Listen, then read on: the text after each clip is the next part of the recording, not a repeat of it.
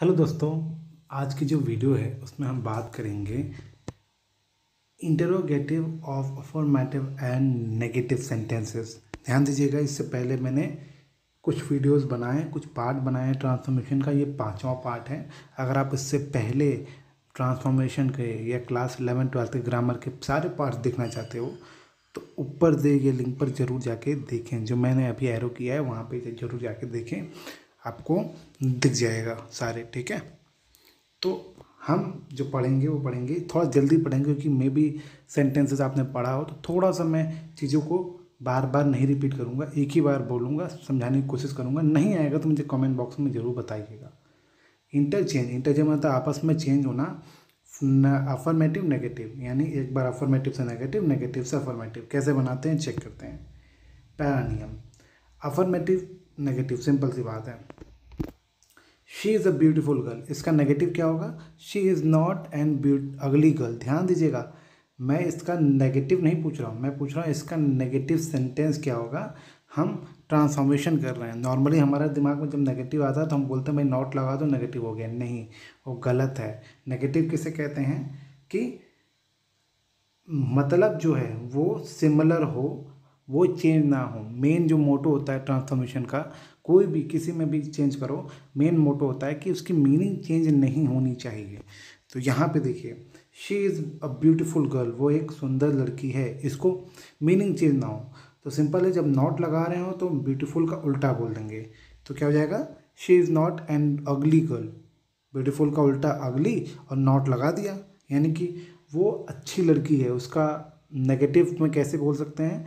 वह बुरी लड़की नहीं है। या वो भद्दी लड़की नहीं है, अर्थात वो अच्छी लड़की है, सुंदर लड़की है। यू लाइक मी तुम मुझे पसंद करते हो। तो you do not dislike me तुम मुझे पसंद नहीं करते हो। अर्थात पसंद करते हो। तो ध्यान दीजिएगा, जब हम नेगेटिव बना रहे होंगे तो हम देखेंगे मीनिंग चेंज नहीं होनी चाहिए। तो अगर ऐसे अगर आपको पकड़ना है तो आपको नॉर्मली क्या करना चाहिए? जो यहाँ पे एडजेक्टिव आ रहा है या जो या जो वर्ब आ रहा है, उसका नेगेटिव वर्ब या नेगेटिव एडजेक्टिव आप लिख दो नॉट लगा के। और बेसिक जो ग्रामर का रूल होता है, उसको फॉलो करोगे तो आपका बन जाएगा। जैसे सीता लव्ड राम तो हो जाएगा, Sita did not hate Ram. Sita Ram से नफरत नहीं करती थी, अर्थात प्यार करती थी, हम ऐसे कह सकते हैं। तो ये एक ऐसे सेंटेंस बनाए जा सकते हैं। ठीक? तो ये दिमाग रखिएगा। नियम क्या कहते हैं इसके? एग्जेक्टिव या वर्ब का विलोम अर्थात अपोजिट प्रयोग करके नॉट लगाकर नेगेटिव सेंटेंस बनाना, बनाया जाता है। जैसे कि आपने ऊपर के एग्जांपल्स में देखा, ऐसे हम बना सकते हैं। और देखिए, ये तो नॉर्मल सेंटेंस हो गए, कुछ और सेंटेंस होते हैं जिनको कैसे बनाया जाता है।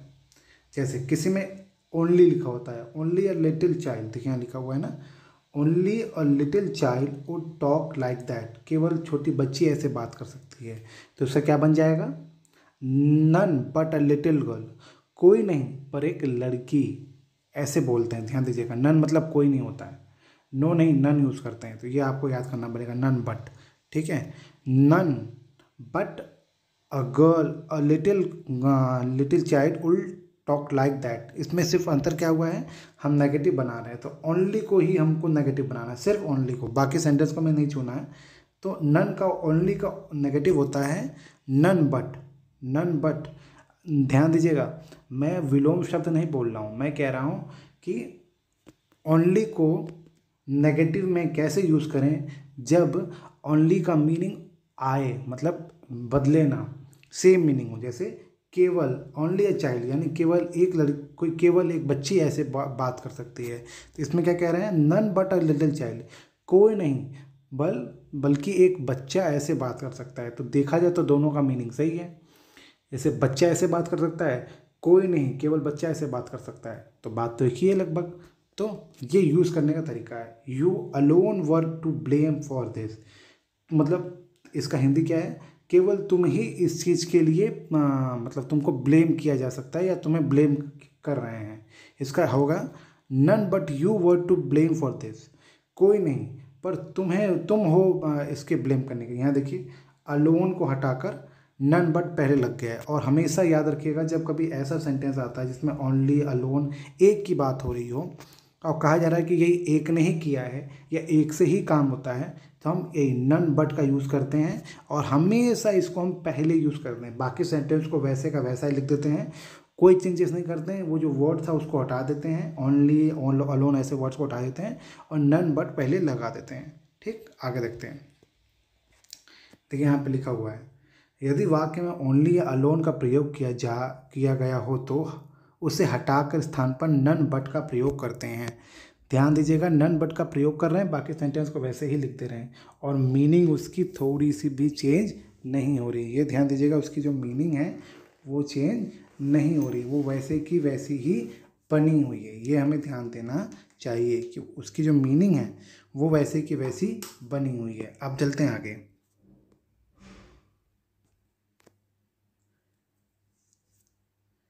क्या लिखा है? एज सुन एज ऐसे सेंटेंस आप सुनते होंगे। As soon as I reached the college the bell ring मतलब जितना जल्दी हो सके जि, जितना जल्दी मैं पहुँचा या जैसे ही मैं पहुँचा बेल बज गई। कॉलेज में जैसे ही पहुँचा बेल बज गई। इसका हिंदी क्या होगा? या सॉरी इसका नेगेटिव में इसको कैसे बोलेंगे? इसमें इसकी मीनिंग ना चेंज हो केवल उसका तरी फॉर्म चेंज है। यानी लिखने का तरीका चेंज है लेकिन उसकी मीनिंग चेंज ना हो तो कैसे लिखेंगे? No sooner. Did I. इसको लिखते ही ऐसे हैं। अगर ये पास्ट में है तो इसलिए डिड लगाएँगे हम। ठीक है? अगर प्रेजेंट में है तो डू लगाते हैं या डस लगाते हैं। डिपेंड करता है सेंटेंस कैसा है। तो as soon as I read. Simple. No sooner did I reach. ध्यान दीजिएगा, इसमें क्या अंतर करते हैं? थोड़ा सा बेसिक चेंज करते हैं। यहाँ देखिए, वर्ब का सेकेंड फॉर्म यूज़ हुआ है। तो यहाँ पे हम क्या करेंगे? वर्ब के सेकेंड फॉर्म के नाम पर डिड का यूज़ करेंगे। डू का सेकेंड फॉर्म क्या होता है? डिड तो हम ध्यान दीजिएगा क्या चेंज किए हैं। एज सुन एज को हटा दिया हमने और उसकी जगह हमने नो सुनर यूज़ किया और जो वर्ब है, कोई भी वर्ब हो सकता है, जैसे यहाँ रीड है, यहाँ सौ है, इसको हम फ़र्स्ट फॉर्म बना देंगे और उससे पहले डिड लगा देंगे। क्या लगा देंगे? डिड डिड क्या है? डू का सेकेंड फॉर्म है। ठीक? तो ये बेसिक चेंज है। No sooner as soon as की जगह आया और रीच्ड की जगह आ गया डिड और रीच को हमने सिंपल नॉर्मली लिख दिया। ठीक? आपको पता है जब डिड आता है तो हमेशा वर्ब का फ़र्स्ट फॉर्म यूज़ करते हैं। आपने पढ़ा होगा पास्ट एंड डेफिनेट के नेगेटिव में। तो वही है as soon as I reach the college the bell rang no sooner did I reach the college then the then the bell rang ठीक है? इसमें क्या अंतर है? ध्यान दीजिएगा। मतलब इसका हिंदी क्या होगा? जितना जल्दी मैं नहीं पहुँचा, उतना मतलब बेल बज गई, जितना जल्दी मैं नहीं पहुँचा, अर्थात वही मतलब है कि मैं जैसे ही पहुँचा, बेल बज गई। इसका मतलब यही है, ठीक है? मतलब नो सुंदर मतलब वेट नहीं किया गया।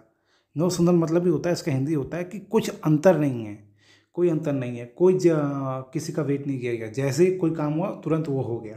तो जैसे ही वो कॉलेज पहुँचा, वैसे ही घंटी बज गई, इसका मतलब ये है, ठीक? एक्सरसाइज करेंगे तभी समझ में आएगा। और हाँ एक चीज़ मैं भूल गया। ध्यान दीजिएगा एज सुन एज वाले एग्ज़ाम्पल में कॉमा आता है अफर्मेटिव में जब उसको हम नेगेटिव बनाएँगे तो दैन लिखते हैं दैन ठीक है तो ये बेसिक चीज़ ध्यान दीजिएगा। क्या तीन चेंजेस हुए हैं? एज सुन एज को हटा देंगे हम लोग, उसके जगह नो सुनर का यूज़ करेंगे। ठीक है? और वर्ब का सेकेंड फॉर्म की जगह हम वर्ब का फ़र्स्ट फॉर्म यूज़ करेंगे और उससे पहले डिड लगा देंगे। दो चेंजेस हो गए तीसरा है कि कॉमा हटाकर हम देन का प्रयोग करते हैं। किसका प्रयोग करते हैं? देन का। किसका प्रयोग करते हैं? देन का प्रयोग करते हैं कॉमा हटाकर। कॉमा हटाकर किसका प्रयोग करते हैं हम लोग? देन का प्रयोग करते हैं। अब देखें, नियम में भी कुछ ऐसा ही कुछ लिखा है।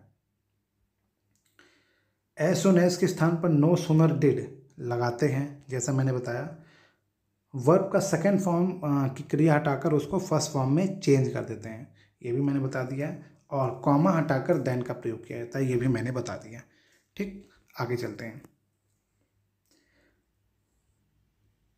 अफर्मेटिव क्या लिखा है? अफर्मेटिव नेगेटिव सेंटेंस कैसे बनाते हैं? और जैसे, Ram is better than Hari Ram Hari से बेटर है। तो इसको ऐसे कह सकते हैं, उल्टा Hari is not better than Ram उल्टा बोल दो। सिंपल सी बात है।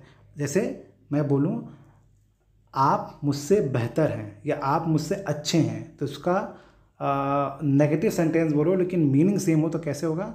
मैं आपसे अच्छा नहीं हूँ। सिंपल सी बात है। देखिए ए जो है, वो बी से अच्छा है तो हम उसको ऐसे भी कह सकते हैं। बी जो है, वो ए से अच्छा नहीं है। सिंपल सी बात है। ठीक वहीं पे है।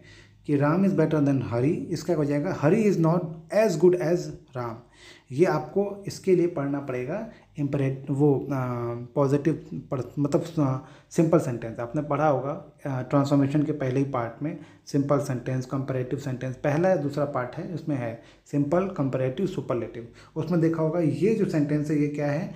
कंपरेटिव डिग्री इसको हम किससे बदल देंगे? सिंपल सेंटेंस बदलेंगे। और सेंटेंस जब सिंपल डिग्री में बदलेंगे तो ध्यान देंगे, हम उल्टा कर देंगे। हरि को राम राम को हरि की जगह ला देंगे और नॉट लगा देंगे। ठीक? तो ये प्रैक्टिस पे डिपेंड है। मैं इसको कम्प्लीटली नहीं बता रहा क्योंकि इससे पहले ही मैं बता चुका हूँ उसको। इसलिए मैं इसको नहीं क्लियर कर रहा हूँ। मतलब इसको मैं ज़्यादा एक्सप्लेन नहीं कर रहा हूँ, क्योंकि मैं पिछले पार्ट्स में बता दिया हूँ ट्रांसफॉर्मेशन के।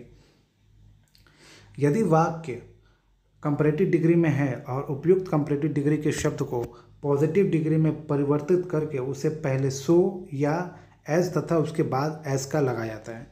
ये एक्सरसाइज जितना करोगे उतना क्लियर आपको हो जाएगा। सिंपल सी बात है कंपरेटिव डिग्री में सेंटेंस है, उसको हम सिंपल सेंटेंस बनाएँगे और सेंटेंस ऐसा बनाएँगे कि मीनिंग चेंज ना हो। तरीका बदल जाए लेकिन मीनिंग चेंज ना हो। जिससे तुलना की जाती है, उसे कर्ता के स्थान पर, जबकि जिसकी तुलना की जाती है, उसे उसे अंत में रख दिया जाता है। ये मतलब वही उल्टा कह रहे हैं कि भाई इसको इधर कर दो।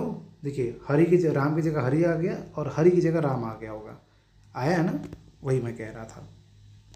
चलिए, आगे चलते हैं। नॉट शब्द एज या सो के पहले लगाया जाता है। तो हमेशा अगर आप नॉट लगा रहे हैं तो as soon as as good as as beautiful as से पहले लगाते हैं नॉट। सिंपल सी बात है। ठीक? फ़र्स्ट हेल्पिंग ऑफ़ के जस्ट बात। पांचवा अफर्मेटिव सेंटेंस से नेगेटिव बनाने का एक और तरीका। जैसे कभी कभी ये देखते हो कि टू लिखा होता है, जैसे he is too old to run ये भी मैं बता चुका हूँ। टू का यूज़ कैसे करते हैं, उसको उसको सिंपल कैसे बनाते हैं। He is too old to run fast इसका नेगेटिव क्या हो जाएगा और मीनिंग चेंज नहीं होनी चाहिए। He is so old that he can not run fast simple सी बात है। ये पहले हम डिस्कस कर चुके हैं, इसलिए मैं इसको क्लियरली मतलब ज़्यादा एक्सप्लेन नहीं कर रहा हूँ। ये पिछले के पार्ट्स में मैंने बता दिया है, अगर आप चाहो तो वो जाके ज़रूर देखो। मैंने वहाँ पे बता दिया है, ठीक है? ज़रूर प्लीज़ जाके देखिए पिछला पार्ट ट्रांसफॉर्मेशन का फ़र्स्ट या सेकेंड पार्ट में मैंने इसको एक्सप्लेन किया है। वाक्य में फ़र्स्ट सेकंड थर्ड तीनों में से किसी में देख सकते हो, किसी में शायद फ़र्स्ट या सेकंड में है। वाक्य में प्रयुक्त टू को हटाकर नेगेटिव सेंटेंस बनाया जाता है। उसे इसी अध्याय में पढ़ चुके हैं। जैसे यहाँ लिखा है, इसी अध्याय अर्थात इसी चैप्टर में पढ़ चुके हैं हम लोग। ध्यान दीजिएगा। मीनिंग चेंज नहीं होनी चाहिए। तरीका बदल बदल बदल जाएगा, लेकिन मीनिंग चेंज नहीं करना हमें। ये मेन है, ठीक है? आगे। चेंजिंग ऑलवेज इनटू नेवर अगर कुछ सेंटेंस ऐसे होते हैं जिसमें हमें उसको नेवर में चेंज करना है, जैसे ऑलवेज अगर आया है तो उसको हमेशा उसका नेगेटिव होगा नेवर जैसे it's always power when it's rain ठीक है? जब पावर मतलब होता है एक तरीके से बौछार होना तो हम जब हमेशा बारिश होती है तब पावर होती है, इकट्ठा होती है। It never rain but it pours ठीक है? तो पॉर मतलब होता है इकट्ठा मतलब जो बारिश होती है, उसको एक जगह आप क्या कर रहे हो उसको जुटा रहे हो, इकट्ठा कर रहे हो तो it never rains but it pours तो इसका उल्टा क्या हो जाएगा? सिंपल सी बात है। जो कहा जा रहा है, वो पहले ऑलवेज की जगह नेवर लगा देंगे। पॉर की जगह रेन और रेन की जगह पॉर और बीच में बट लगा देंगे। ये देखिए, तभी आएगा जब आपको टेंस ध्यान दीजिएगा टेंस जितना मैंने पढ़ाया है वो दो चीज़ आ जाएगी तो ये आपको बहुत इजी लगेगा। टेंस आना चाहिए अदरवाइज़ आपको ये बहुत दिक्कत करेगा। आपको टेंस जो है, वो आना चाहिए। इसमें मेन है टेंस आपको आना चाहिए, ये ध्यान दीजिएगा। ठीक है? तो ये बहुत इंपॉर्टेंट है। आगे चलते हैं। यूजिंग टू अपोजिट अगर दो अपोजिट है, जैसे every one will admit it सभी लोग इस बात को मानेंगे। तो उसका उल्टा क्या होगा? कोई इस बात को नहीं मानेगा। देखो, सिंपल सी बात है। अगर मैं कह रहा हूँ कि सभी लोग इस बात को मानेंगे इसका उल्टा क्या हो सकता है? कोई इस बात को नहीं मानेगा। सिंपल सी बात है। ठीक? दूसरा ब्रूट्रोस लव सीजर। ठीक है? तो क्या क्या हो जाएगा? Brutus was not without love for Caesar. मतलब सीजर के लिए ब्रूट्रोस के सॉरी, गलती हो गया। उल्टा मैंने बोल दिया। क्या है? Brutus love Caesar Brutus Caesar से प्यार करता था। इसका इसका नेगेटिव सेंटेंस क्या होगा? मीनिंग चेंज नहीं होनी चाहिए। Brutus was not without love for Caesar या, इसका मतलब ये ब्रूटस कुछ नहीं था सीजर के प्यार के बिना। अर्थात सिंपल सी बात है ब्रूटस और सीजर के बीच में लव था, प्यार था। ठीक? तो ये सेंटेंस करने का तरीका है। जैसे ये चौथा देखिए ही रोट अ लेटर तो इसका क्या हो जाएगा? मीनिंग चेंज नहीं होनी चाहिए, तरीका बदल जाएगा। सिंपल है। He did not fail to write a letter वो क, वो कभी वो फेल नहीं हुआ था पत्र लिखने में अर्थात तो उसने पत्र लिखा था। किसने पत्र लिखा था? ही ने। ठीक है ही ने क्या किया था? पत्र लिखा था। ठीक? और मैं एग्जांपल नहीं बता रहा हूँ सिंपल इससे में आप समझ जाओ। कोई डाउट परेशानी हो तो आप पूछो। ठीक है?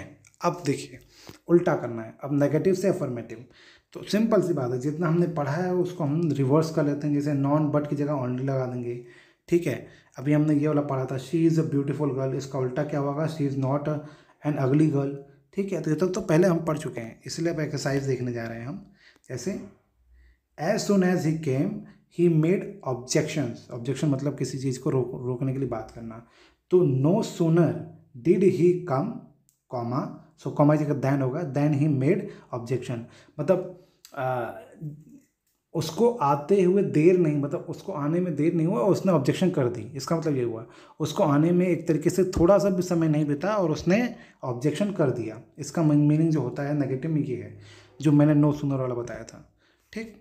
तो ये एक्सरसाइज आपको करना है, ये चेक करिए, देखिए, समझिए पॉज करिए वीडियो को, नहीं आ रहा है तो मुझसे पूछिए। इसका जो पीडीएफ है, आपको वो जो लास्ट चैप्टर में पढ़ाऊँगा ट्रांसफॉर्मेशन का, उसमें आपको मिल जाएगा। तो वहाँ से जाकर आप देख सकते हो, समझ सकते हो और कोई दिक्कत परेशानी हो तो आप पूछ सकते हो कि, सर, यहाँ पे दिक्कत थी, यहाँ पे परेशानी थी, ये वाला हमको एक्सरसाइज नहीं आया या समझ में नहीं आया। आप ऐसे कह सकते हो। ठीक है? अब interchange of interrogative and assertive sentence ये मैं नेक्स्ट वीडियो में बनाऊँगा। मैं जानबूझ के छोटा छोटा बना रहा हूँ, अब छोटा बनाऊँगा, ताकि आपको समझ में आ जाए और आप उसको अच्छे से जान लो। तो ये जो पूरा ये पूरा पार्ट था, इसको देखिए, समझिए, कोई डाउट, परेशानी हो तो पूछिए। नेक्स्ट वीडियो में हम interchange of interrogative and assertive sentence बताएँगे और इम्परेटिव वाला भी बताएँगे। ठीक है? होप आपको वीडियो समझ में आई हो, कहीं पे डाउट, परेशानी हो तो आप कमेंट बॉक्स में पूछिएगा।